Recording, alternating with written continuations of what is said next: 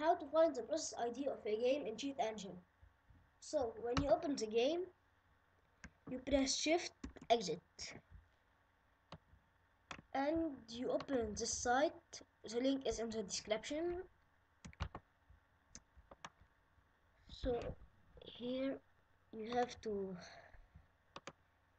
put the process ID one three one five six. One three one five six. And you convert. So and you open cheat engine. You search for it. It's here. You will have like three or four zeros before the number but uh, it's the same and uh, you can now hack this game. Thanks for for watching and subscribe for more videos